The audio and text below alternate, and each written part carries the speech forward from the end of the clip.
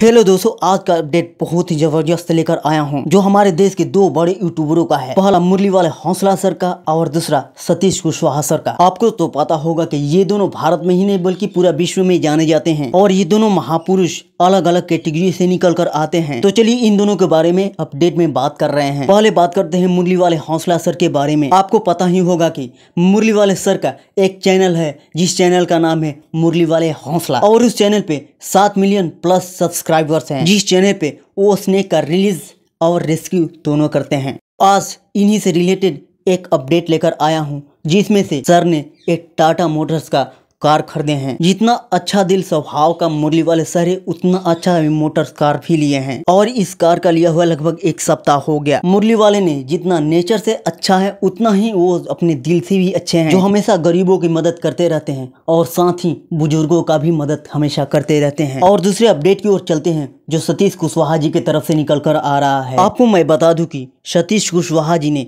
एक गरीब परिवार से निकलकर एक बहुत बड़ा ब्रांड बना लिए हैं जिस ब्रांड का नाम है मचाते रहो। यह एक ब्लॉगर यूट्यूबर और प्रोडकास्टिस्ट हैं। इनका एक चैनल है जिस चैनल का नाम है सतीश के वीडियो। उस चैनल पे अभी हाल ही में एक मिलियन सब्सक्राइबर प्लस हो गए जिस वीडियोस में अपना रेवेन्यू एक महीने का बताए हैं कि वो इस चैनल से एक महीने में कितना रेवेन्यू किए हैं। सतीश कुशवाहा जी को इस तरह से बहुत सारे यूट्यूब चैनल है, साथ ही एक ब्लॉगिंग प्लेटफॉर्म भी है जिसपे वो ब्लॉगिंग करते हैं और मनी अर्न करते हैं। अभी फ़िलहाल के लिए इतना ही, तब तक के लिए जहाँ भी रहो, मचाते रहो।